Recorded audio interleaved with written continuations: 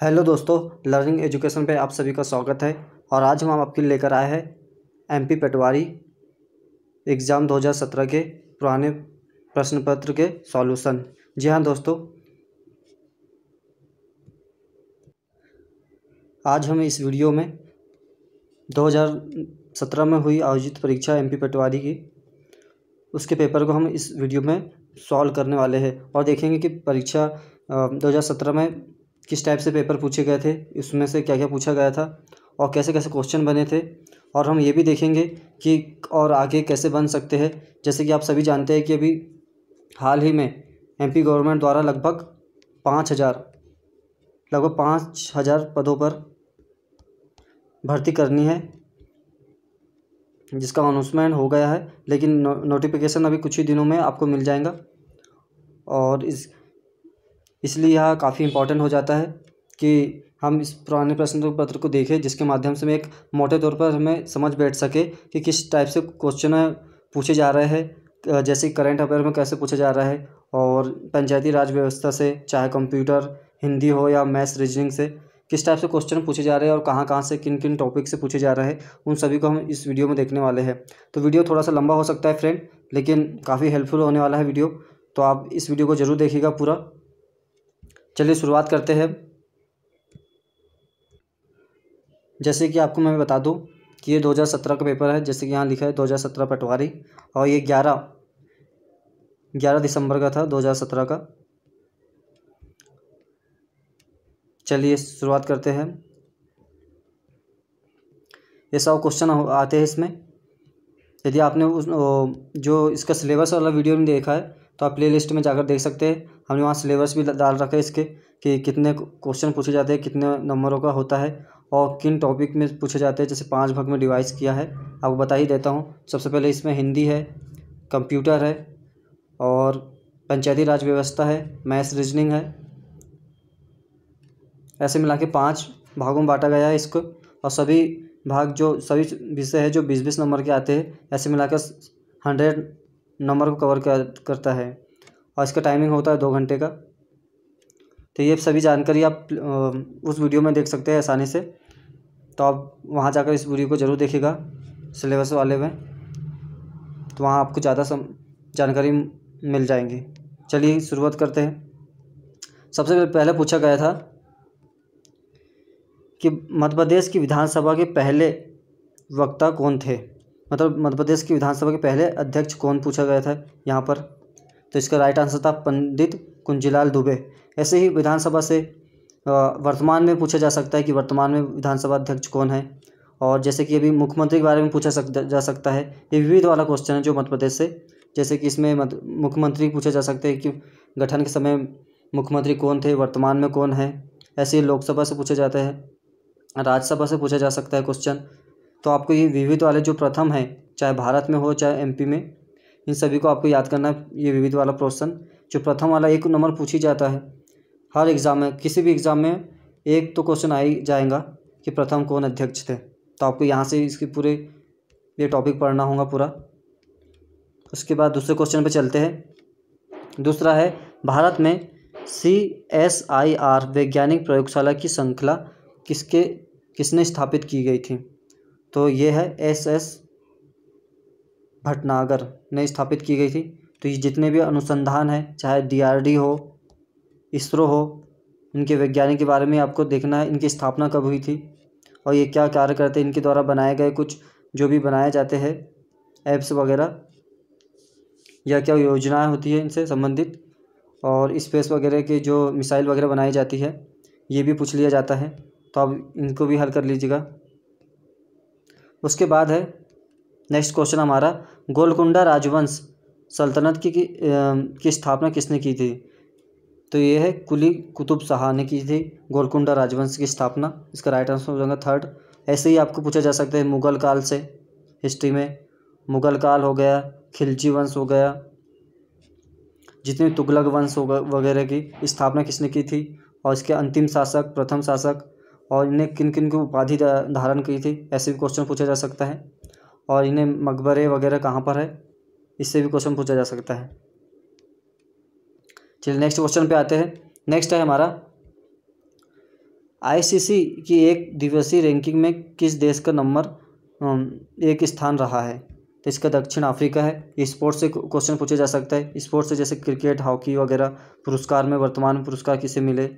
और या इनकी अकाडमी वगैरह कहाँ पर स्थित है, जो अभी पुरस्कार मिले हैं। जैसे नीरज चोपड़ा वगैरह जो अभी ओलंपिक हुआ था दो हज़ार इक्कीस में, उससे क्वेश्चन पूछे जा सकते हैं। ऐसे स्पोर्ट्स से स्पोर्ट वाले में पूछा जा सकता है। इनके जो गेम्स की जितनी भी शब्दावली होती है, आप उन्हें भी देख लीजिएगा, इनके हेडक्वार्टर वगैरह को भी। ऐसे क्वेश्चन बनने, बनते हैं इससे। इसके बाद है हमारा अगला क्वेश्चन हॉकी इंडिया लिंक 2017 का शीर्षक प्रायोजक कौन था? जैसे कि बताइए, कहाँ पर आयोजित होने वाला है? अगला कहाँ आयोजित होगा 2024 2025 में? ये फुटबॉल ये फीफा वगैरह के बारे में? तो इसका ऑप्शन था कोल इंडिया लिमिटेड। अभी कौन है? जैसे कि टाटा है या फिर रिलायंस वगैरह, ऐसे पूछा जा सकता है। तो करंट भी काफ़ी क्वेश्चन पूछ लिए जाते हैं इससे। लगभग चार से पाँच करंट चार से पाँच नंबर का करंट ऑफ़र होता है। तो आप करंट अफेयर अच्छे से बनाए रखें। अगला है, लोकसभा को स्थगित करने की शक्ति किसके पास होती है?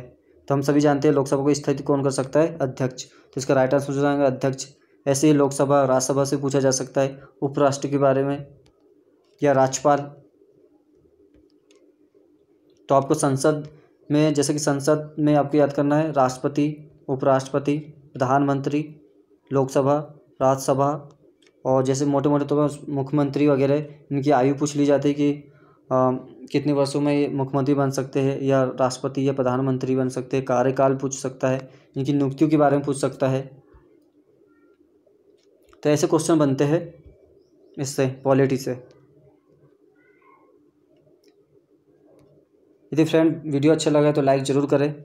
इस वीडियो को लाने का मतलब एक ही था कि समझ सके कि एक मोटे तौर पर कि कैसे क्वेश्चन पूछे जा रहे हैं और मैं आपको बताते भी जा रहा हूँ कि कैसे कैसे क्वेश्चन पूछ रहे हैं किस किस टॉपिक से। तो आप उस, उनको भी हर कर लीजिएगा। तो ये आपको आसान होगा ये पेपर सॉल्व करने में। हमारे द्वारा मॉडल पेपर भी डाला गया है तो आप उसे भी प्ले लिस्ट में जाकर देख सकते हैं। अगला क्वेश्चन है हमारा, भारत में खनिज में से सबसे समृद्ध पठार कौन सा है? सबसे ज़्यादा खनिज कौन से पठार पर होता है? यहाँ पूछा गया है। तो छोटा नागपुर का पठार सबसे ज़्यादा होता है। यहाँ पर खनिज, जो कि झारखंड, उड़ीसा वाला क्षेत्र में आता है, छोटा नागपुर का पठार। और देखा जाए तो मालवा का पठार, ये एमपी में ही है, मालवा का पठार। यहाँ काली मिट्टी अधिक पाई जाती है मालवा पठार में। तो ये जैसे पठार से भी पूछा जा सकता है, किस खनिज में कहाँ पर खनिज पाया जाता है, किस राज्य में कौन सा खनिज पाया जाता है सबसे अधिकतम। या भारत में कौन सा खनिज इनके स्थान भी पूछ लिया जाएगा? जैसे कोयला का स्थान कौन सा है? या सोना वगैरह, हीरा कहाँ पाया जाता है? जैसे कि पन्ना के बारे में भी जो मध्य प्रदेश के पन्ना ज़िले में हीरा पाया जाता है, ये काफ़ी बार पूछा गया है क्वेश्चन में। बड़े बड़े एग्ज़ाम में भी काफ़ी बार पूछा गया है। तो ऐसा आप जितने भी खनिज संसाधन हैं, उससे भी क्वेश्चन बनते हैं। तब उन्हें के याद कर लीजिएगा। नेक्स्ट है, आप नोट भी कर सकते हैं इसने नेक्स्ट है हमारा क्वेश्चन प्रधानमंत्री द्वारा हाल ही में घोषित सौभाग्य योजना का उद्देश्य क्या प्रदान कर, करना है? तो यहाँ पर उसका उद्देश्य पूछा गया है योजना के बारे में। पूरे देश में घरों का विद्युत, विद्युतीकरण करना था इस योजना के बारे में। सौभाग्य योजना का उद्देश्य था। ऐसी इस योजना के बारे में डेट भी पूछ ली जाएँगी कि इसकी शुरुआत कब की, किसने की, राष्ट्रपति ने की या प्रधानमंत्री द्वारा की गई।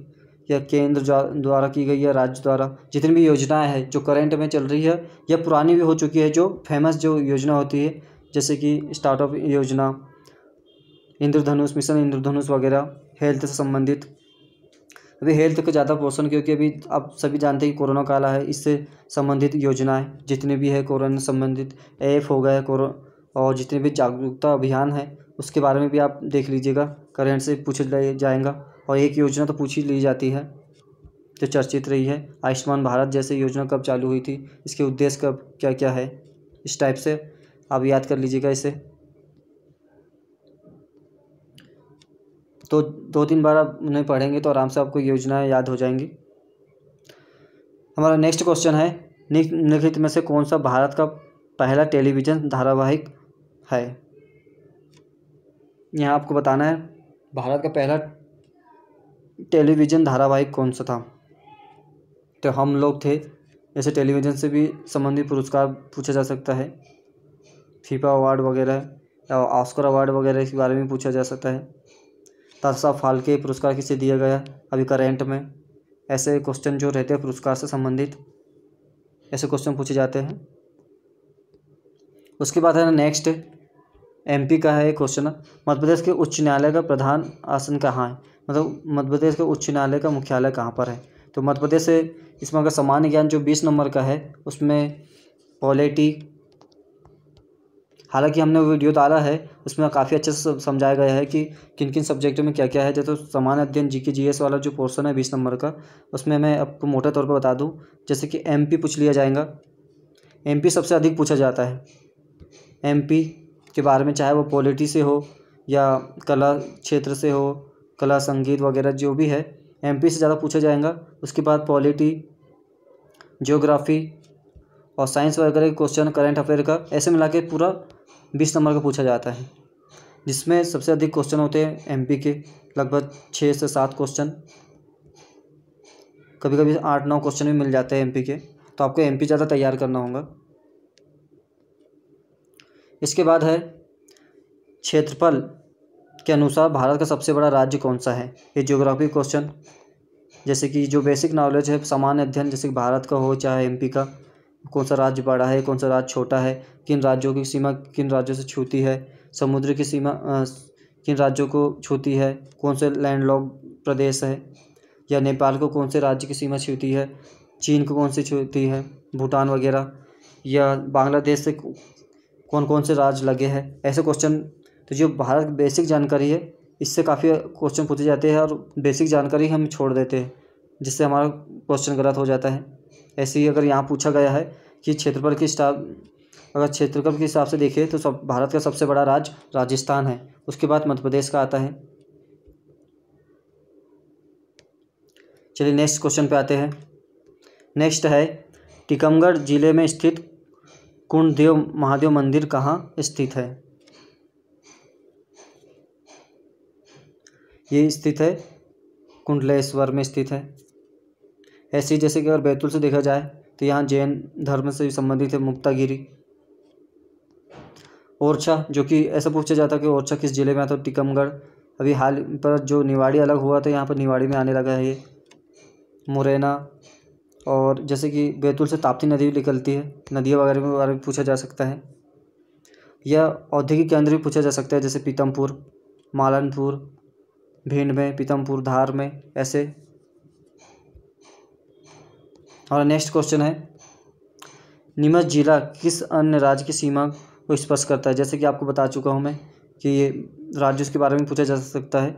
यहाँ पर एमपी से पूछा है, आप एमपी के जितने भी ज़िले हैं, बावन ज़िले जो फ़िलहाल में उन ज़िलों को आप बाउंड्री वाइज देख लीजिएगा कि उत्तर प्रदेश को कितने ज़िले लगे हैं और महाराष्ट्र के कितने ज़िले लगे हैं या राजस्थान को या फिर उत्तर प्रदेश, इन सभी को आप देख लीजिएगा। यहाँ ऐसी क्वेश्चन बना है, नीमच ज़िले किस अन्य राज्य की सीमा को स्पर्श करता है? तो राजस्थान, आपको अगर आपने मैपिंग से अगर सॉल्व किया होगा तो आप एक, आपको एक मिनट में लगेंगे। जैसे क्वेश्चन पढ़ेंगे, आप वैसे आंसर लगा सकते हैं इसका। तो आप मैप के ज़रिए पढ़ेगा इसको। अगला है, निम्नलिखित में से कौन इंदौर में एक लोकप्रिय पर्यटन स्थल है?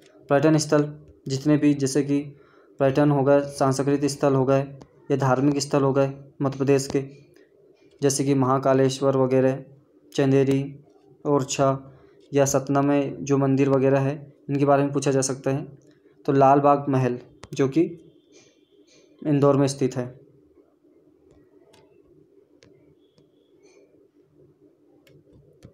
नेक्स्ट है, मांडू में रीवा कुंड, स्मारक, बाज बहादुर और किसके बीच रोमांस रोमांस के साथ जुड़ा हुआ है? तो रानी रूपमती और बाज बहादुर की कहानी है यहाँ पर, मांडू, जो कि धार ज़िले में आता है। यहाँ काफ़ी महल, मकबरे वगैरह काफ़ी बने गए हैं। तो इनसे आप दुर्ग वगैरह जितने भी है, यहाँ पर काफ़ी पूछे गए तो अब जो मांडू वाला है यहाँ से काफ़ी अब मिलते हैं, भीम बेटी का गुफा वगैरह भी देखने को मिलती तो इन सबको आप ज़रूर पढ़ लीजिएगा एमपी से। आप एमपी के लिए किसी भी एक बुक का रेफ़र कर सकते हैं। आप उसे लगभग दो से चार बार पढ़ेंगे तो आपको सब याद हो जाएगा। अगला है एम पी सी क्वेश्चन देखो, लगातार पाँच छः क्वेश्चन एम पी सी आए। इसे पहले बता चुका हूँ, कम से कम सात से आठ क्वेश्चन कभी कभी दस भी हो जाते हैं एम पी से पूछा जाता है। तो आप आपको एम पी के दस नंबर, कम से कम आठ से दस नंबर आपके एम पी से ही हो जाएँगे, चाहे प्रत्यक्ष या अप्रत्यक्ष के तौर पर।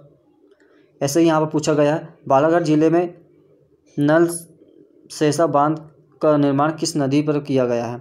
तो नदी से क्वेश्चन पूछा जा सकता है, जैसे कि आपको बता दूँ मध्य प्रदेश में कौन सी नदी बहती है? ऐसे भी क्वेश्चन पूछा जाता है। इनमें से कौन सी नदी मध्य प्रदेश की नहीं है? ऐसे भी क्वेश्चन पूछा जा सकता है। या मध्य प्रदेश का उद्गम स्थल सॉरी मध्य प्रदेश की नदियों को उद्गम स्थल पूछा जा सकता है कि नर्मदा नदी कहाँ से निकलती है? ताप्ती नदी कहाँ से निकलती है? इनके इनके ऊपर, इनके तट पर कौन कौन से शहर बसे हैं? इनकी सहायक नदी कौन सी है? इनमें परियोजना कौन सी चल रही है? उनके पर बाँध कौन से है? निर्मित किए गए हैं। ऐसे क्वेश्चन पूछे जाते हैं नदियों से। इनकी लंबाई वगैरह खैर लंबाई तो नर्मदा और ताप्ती के बारे याद करना आप एक दो नदियों का उसके बाद काफ़ी कुछ लंबाई उतनी पूछी नहीं जाती लेकिन बाँध वगैरह के बारे में काफ़ी पूछा जाता है बाँध हो गए कहाँ उद्गम स्थल वगैरह तो ये सभी जानकारी से नदी से ऐसे क्वेश्चन बन सकते हैं। तो इसका राइट आंसर हो जाएगा चंदन। चंदन हम्म, ये बाँध है ये बालाघाट में। अगला है हमारा फिर से मध्य प्रदेश के बारे में क्वेश्चन फिर से है। मध्य प्रदेश के निम्नलिखित जिलों में से गन गैरेज फैक्ट्री कहाँ पर है? तो जितने भी, चाहे केंद्र की हो, चाहे राज्य की, जितने भी ये गैरेज वगैरह है, जैसे कि गन गैरेज फैक्ट्री, ये जबलपुर में स्थित है। यहाँ पर गोला बारूद वगैरह बनते हैं। ऐसे ही नेक्स्ट हमारा फिर से एमपी से क्वेश्चन है। हिंडोला महल और जहाज़ महल दोनों कहाँ स्थित है? तो ये दोनों ही मांडू में स्थित है। मांडू में आपको बताया काफ़ी महल वगैरह स्थित है। मांडू हो गया, उसके बाद चंदेरी हो गया, ओरछा हो गया, ऐसे ज़िले में उज्जैन, इनमें काफ़ी महल देखने को मिलेंगे हमें।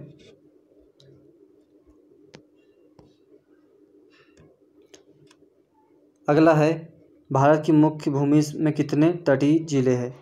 ये भारत से, ये भारत से क्वेश्चन है जियोग्राफी का। तो छियासठ ज़िले जो है, ऐसे राज्यों के बारे में पूछा जा सकता है कि कितने राज्य समुद्र को छूते हैं। जैसे कि पूरे टोटल नौ हैं तो अब क्रम भाई भी पूछा जा सकता है इधर से कौन कौन से राज्य दिए जाएँगे, इस टाइप से पूछा जा सकता है। इसकी लंबाई वगैरह भी पूछा जाता है। उसके बाद जनगणना। जनगणना से तो कन्फर्म है कि एक नंबर का आएँगे ही क्वेश्चन चाहे वह एमपी की जनगणना हो या भारत लेवल की हो, केंद्र लेवल की तो जो इसका क्वेश्चन पढ़ लेता हूँ मैं एक बार। 2011 की जनगणना जनगणना के दृष्टिकोण से मध्य प्रदेश के भौगोलिक क्षेत्र का खालिस्तान वन क्षेत्र है। यहाँ वन पूछा गया है 2011 की जनगणना के अनुसार तो तीस दशमलव बहत्तर प्रतिशत था। जो वन रिपोर्ट है, वन से क्वेश्चन कैसे बन सकते कि किस राज्य में सबसे सर्वाधिक वन वन है? क्षेत्रफल के हिसाब से या परसेंटेज के हिसाब से जो इसकी रिपोर्ट पूछ सकता है कि हर वर्ष दो दो वर्षों में रिपोर्ट आती है वन रिपोर्ट की। इनके अनुसंधान पूछ सकते हैं कि कहाँ पर है वन अनुसंधान केंद्र कहाँ पर है। सबसे अधिक ज, आ, किस ज़िले में मध्य प्रदेश के किस ज़िले में वन है ऐसे पूछा सबसे कम किस ज़िले में है। ऐसा पूछा जा सकता है जो वर्तमान में आई है दो हज़ार इक्कीस की रिपोर्ट इक्कीस बाईस की इससे भी क्वेश्चन पूछा जा सकता है। तो इस, इतने ऐसे क्वेश्चन बनेंगे वन से। और इससे भी एक दो क्वेश्चन और भी है, जैसे कि किस टाइप के वन पाए जाते हैं मध्य प्रदेश में, और किस ज़िले में किस टाइप से वन पाए जाते हैं, जैसे कि शंकुधारी वन वगैरह उष्णकटिबन वन साल, पीपल, और ये सागुन वगैरह के वृक्ष कहाँ पाए जाते हैं, ऐसे भी क्वेश्चन पूछा जाता है। तो ये वन से क्वेश्चन था। उसके बाद नेक्स्ट आते हैं। ये हमारा था समान, जनरल नॉलेज वाला हो गया। अब मैथ्स वाला है जो मैथ्स का टॉपिक हम नेक्स्ट वीडियो में करेंगे तो हम इसे आगे बढ़ा देते हैं। ये भी मैथ्स और रीजनिंग बीस नंबर की आती है कुल टोटल इसके बाद हमारा आता है हिंदी। हिंदी भी बीस नंबर का आती है, और बीस क्वेश्चन होते हैं इसमें। तो चलिए हिंदी के कुछ क्वेश्चन को डिस्कस कर ली जाए यहाँ पर।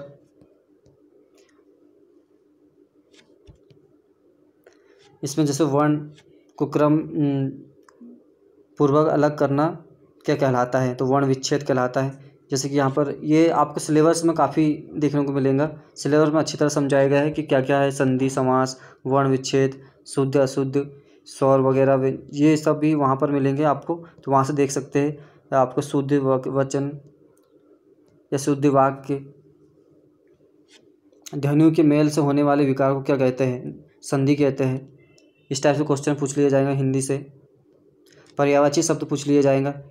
पति का पर्यावाची शब्द, वल्लभ। तो पर्यायवाची शब्द भी देखने को मिलेंगे।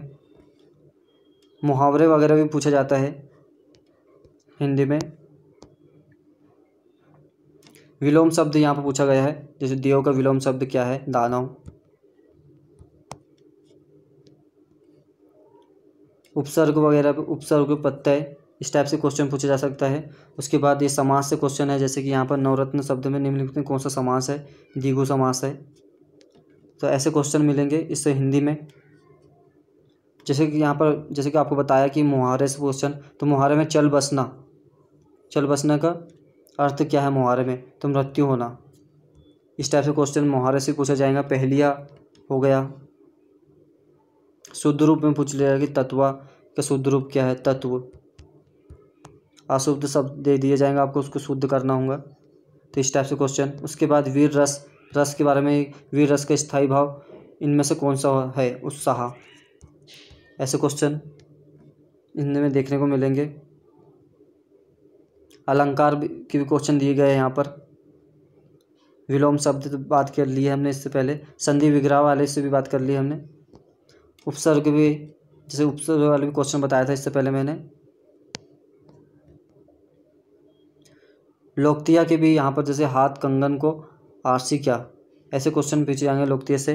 प्रत्यक्ष के लिए प्रमाण की आवश्यकता नहीं होती, इसका आंसर होगा। ऐसे भी समास विग्रह, मनोहर का समास विग्रह बताइए, ऐसा को मिल जाएँगे आपको क्वेश्चन तो मन को हारने वाला मनोहर। तो ये थे हिंदी के इसके बाद आएँगे।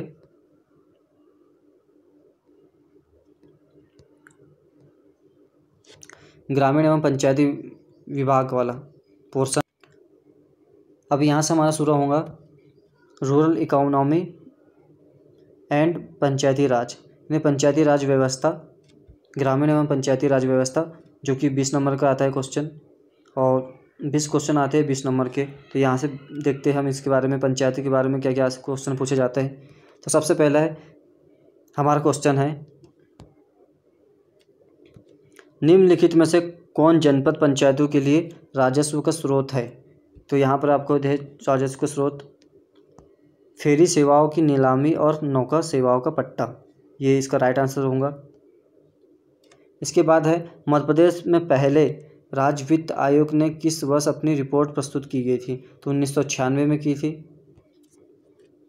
ये पंचायती राज व्यवस्था से यहाँ पर निर्वाचन आयोग से संबंधित या वित्त आयोग से संबंधित क्वेश्चन आएँगे। पंचायत से संबंधित ज़्यादा क्वेश्चन आते हैं इसमें, जो आपको आधे देखने को मिलेगा। उसके बाद मंडी बोर्ड के रूप में किसे जाना जाता है? मध्य प्रदेश राज्य कृषि विपणन बोर्ड। जितनी भी फ़सल वगैरह होगा कृषि से संबंधित पशुपालन से संबंधित क्वेश्चन देखने को मिलेंगे आपको। उसके बाद जितने भी बैंक है, ग्रामीण से संबंधित बैंक जो पंचायती राज से, नाबार्ड वगैरह, इससे पूछा जाएगा। जैसे ग्रामीण केंद्रों को रिक्त में मदद के देश में स्थापित किया जा रहा है तो नाबार्ड को स्थापित किया जा रहा है ग्रामीण केंद्र, ज्ञान केंद्रों को नाबार्ड की मदद से देश में स्थापित किया जा रहा है। ऐसे ही निम्नलिखित में से ग्रामीण विकास के लिए वर्तमान में केंद्रीय मंत्री कौन है? तो नरेश सिंह तोमर थे उस टाइम पे 2017 में। भी वर्तमान में पूछा जा सकता है कि मध्य प्रदेश के कृषि मंत्री कौन है या केंद्र में भी पूछा जा सकता है कि वर्तमान में कौन केंद्रीय मंत्री है कृषि केंद्रीय मंत्री है? ऐसे भी पूछा जा सकता है। उसके बाद महात्मा गांधी राष्ट्रीय रोज़गार गारंटी योजना को भुगतान की गई राशि अब किससे जुड़ी हुई है? तो consume price index for agriculture labour से जुड़ी हुई है। यह महात्मा गांधी रोज़गार गारंटी जो मनरेगा जिसे कहते हैं हम, इसकी शुरुआत कब हुई थी? ये पूछा जा सकता है। अशोक मेहता समिति का गठन कब किया गया था? 1970 में किया गया था, जो पंचायती राज व्यवस्था से संबंधित है। ऐसी जितनी भी योजनाएँ चल रही है, ग्रामीण पंचायत से संबंधित या ग्रामीण से संबंधित, स्वास्थ्य की हो, चाहे कृषि से हो ऐसे क्वेश्चन बनने देखेंगे मिलेंगे पंचायती राज व्यवस्था में। उसके बाद अगला क्वेश्चन है हमारा, निम्नलिखित में से कौन सी ग्राम पंचायत द्वारा अपनाई जाने वाली लेखा प्राणी है? तो दोहरी प्रविष्ट पद्धति। इसका राइट आंसर होगा। अगला है, मध्य प्रदेश में ई प्रोक्यूरमेंट योजना का मुख्य उद्देश्य क्या था, जिसने, जिसका प्रयोजन खाद्यान्न किसानों की सहायता करना है? किसानों को उचित मूल्य दिलाना था, इसका उद्देश्य था। तो जैसे कि जितने भी ग्रामीण पंचायत संबंधित योजना है, उनके उद्देश्य इसके किस मंत्रालय द्वारा की गई है, ये योजना की शुरुआत कब की गई है, इसके उद्देश्य क्या है और किन लोगों को लाभ मिलेगा, ये सभी क्वेश्चन जाते हैं। फिर मध्य प्रदेश किसान सम्मान निधि के बारे में पूछ लिया जाएगा, ऐसे ही।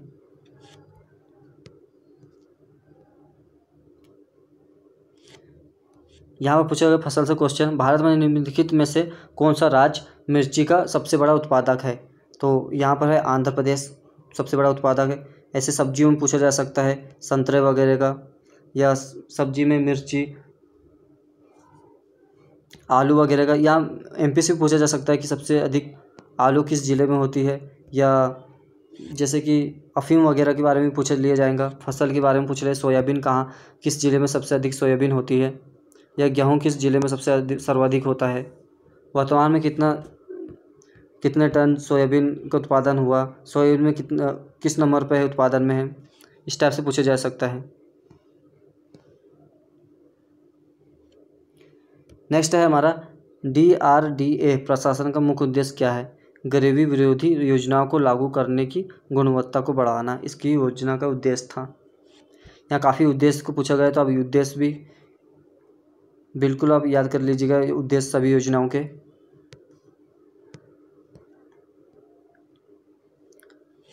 नेक्स्ट है हमारा, निम्नलिखित में से कौन सा प्रधानमंत्री कृषि सिंचाई योजना का उद्देश्य का उद्देश्य नहीं है? प्रधानमंत्री कृषि सिंचाई योजना का उद्देश्य नहीं है। तो परंपरागत सिंचाई स्रोतों का समाप्त करना, इसका उद्देश्य नहीं था। यदि आपको उद्देश्य याद है तो आप आसानी से कौन सा उद्देश्य नहीं है उसे छाट सकते हैं। ऐसे ही यहाँ मनरेगा से क्वेश्चन पूछा गया है। पढ़ लेते हैं हम। मनरेगा के तहत यदि काम पंद्रह दिनों के भीतर उपलब्ध नहीं कराया जाता है तो आवेदक किस दर पर बेरोजगारी भत्ते के हकदार है? तो इसका राइट आंसर जगह पहले तीस दिनों की मजदूरी की दर पर एक बटे तीन और उसके बाद एक बटे दो। तो इसका राइट आंसर हो जाएगा। मनरेगा के अंतर्गत जॉब कार्ड की वैधता कितने वर्षों की होती है? तो ये पाँच वर्ष की होती है जॉब कार्ड की वैधता, मन, मनरेगा के अंतर्गत।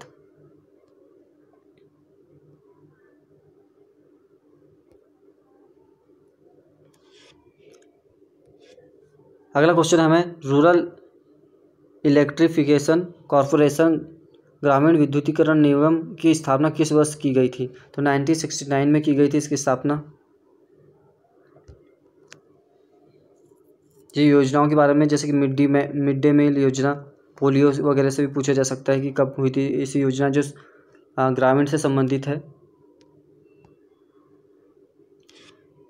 राजीव गांधी ग्रामीण विद्युतीकरण योजना किस वर्ष शुरू की गई थी? ये 2005 से शुरू की गई थी। ऐसी धनवंतरी योजना के बारे में पूछा जाता है, जो कि उन्नीस सौ निन्यानवे में की गई थी। इसकी शुरुआत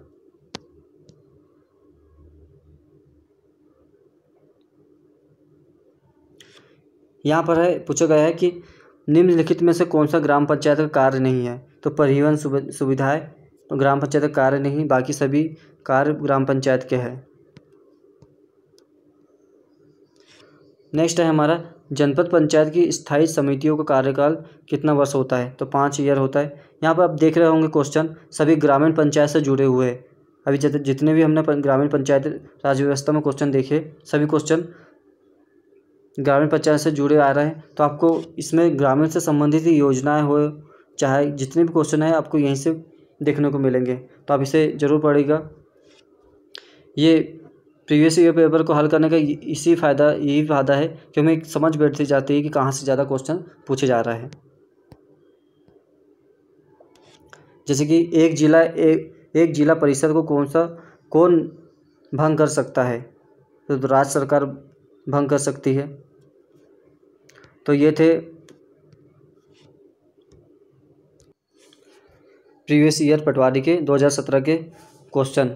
हमने आज देखे इस वीडियो में। अगला भी और भी क्वेश्चन बचे हैं। अब इसके बाद कंप्यूटर बचा है, जो भी बीस नंबर का होता है, उसको हम अगले वीडियो में हल करेंगे। तो उम्मीद करता हूँ फ्रेंड, ये आपको, आपके लिए, आपको समझ में आया होगा ये।